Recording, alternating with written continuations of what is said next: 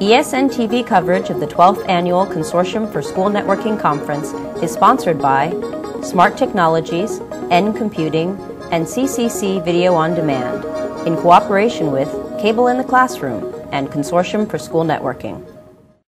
The COSN Data Driven Decision Making Initiative was started about four years ago in 2003, and our goal is really to help bring together the best practices and the best ideas for using data within school organizations to improve uh, teaching and learning and uh, create a place where everyone can go to find out more information and share best practices. Uh, the initiative is sponsored by several different companies, IBM, Dell, SAS, Pearson, uh, SchoolNet, and Texas Instruments.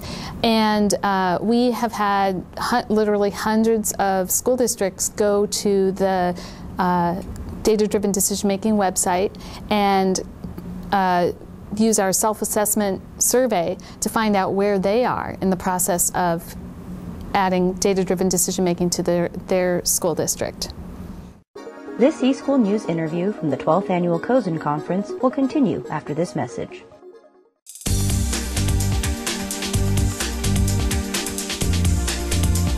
The interactive whiteboard is immediately impressive. They have found an increase in student participation, and that is also translated into higher test scores. SynchronEyes is a classroom management product that runs on the laptops of the students as well as the teacher. SynchronEyes allows that teacher to, to effectively manage the students in a one-to-one -one environment.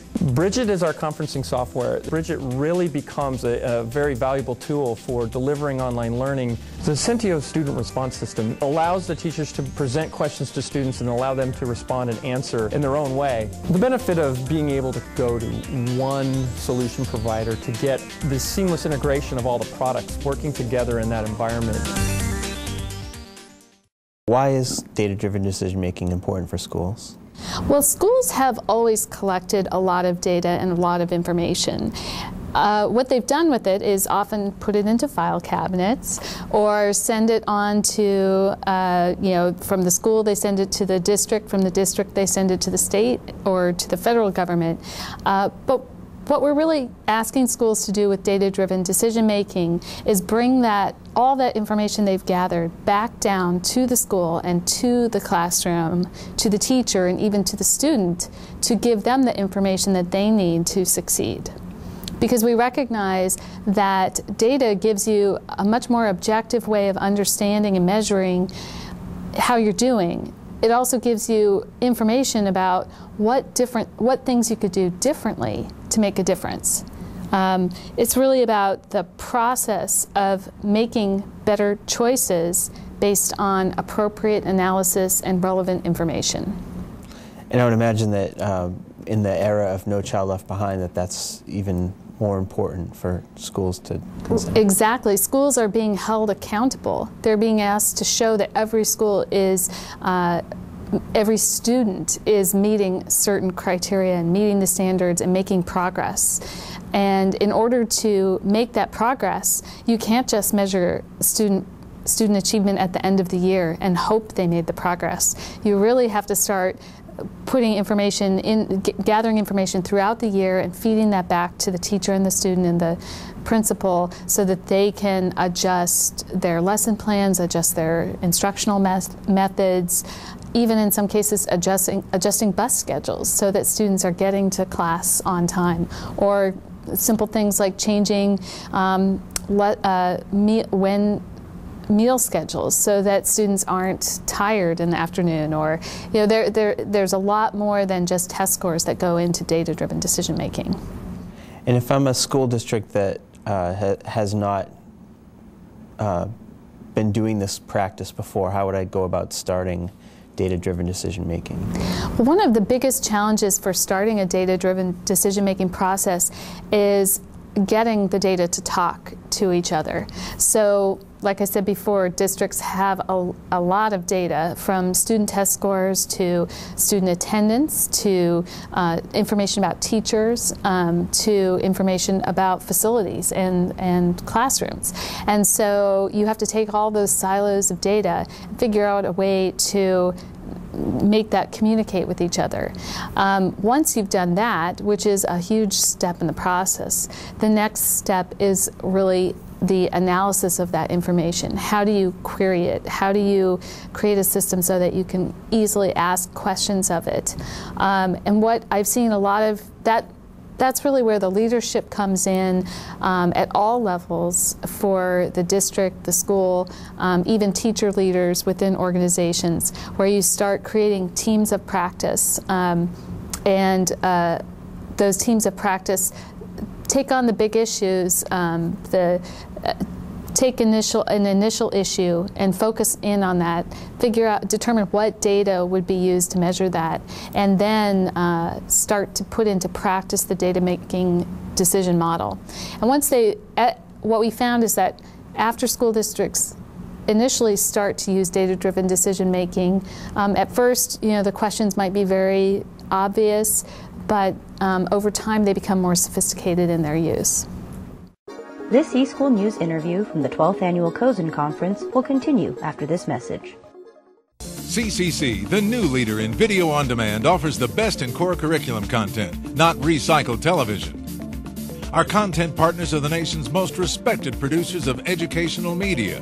CCC offers thousands of programs and tens of thousands of teaching segments, all correlated to state, national, and Canadian standards. It's education, not edutainment. For more information on CCC Video on Demand, visit ndmccc.com. In looking at all of the research and the case studies that you've done around this area, uh, what are some of the keys to success that have emerged? I think one really important thing to remember is that it's not a one-time thing. You aren't going to be able to suddenly uh, raise all of your test scores because uh, you've implemented one aspect of data-driven decision making. It's really about continuous improvement. So the districts that are successful in using data-driven decision-making have made a commitment to be learning organizations. And sometimes that means recognizing that some, something is not working or recognizing that maybe the perfect query or analysis form that a district set up is not something is not the way teachers think about the information or would ask the question. So if it won't work for the teachers, then it's it, it, it you need to acknowledge that and change the system and really work with the whole organization in order to make it last. And where can school districts go to get more information about this? On the COSN website, what the data-driven decision-making um, project or initiative has its own website. It's www.3, the numeral 3, D2, the numeral 2, know.org. Or you can just go to the COSN front page and uh, click the link from there.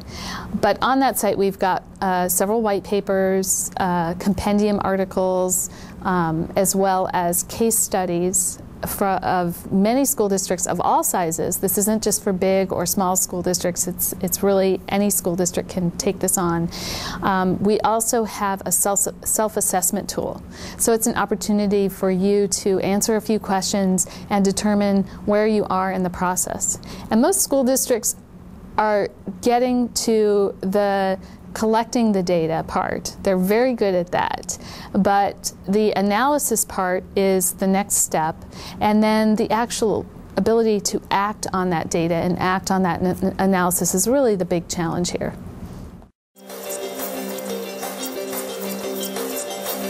NComputing's mission is to get a computing station in front of every student at every school. Our technology works by installing an NComputing PCI card into a normal desktop PC. You then take a simple networking cable and connect it to an end station box. All you have to do then is install our software, a monitor, mouse, and keyboard, and you are ready to go. With the NComputing stations, you can expand one host by up to seven stations. This means that effectively you are turning one PC into the equivalent of seven PCs for a fraction of the cost of buying a new PC.